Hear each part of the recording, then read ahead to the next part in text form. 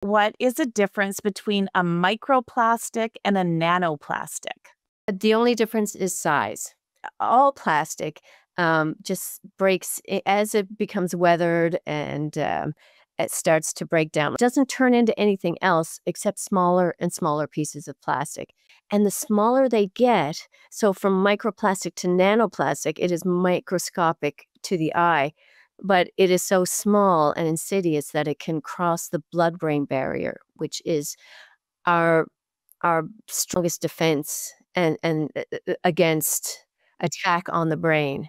These plastics that are pla- passing through the blood-brain barrier uh, have neurological effects, creating um, symptoms like um, um, Alzheimer's and Parkinson's. They have been found to increase risk of testicular cancer, breast cancer, um, uh, to cause deformities and, uh, and uh, reproductive irregularities.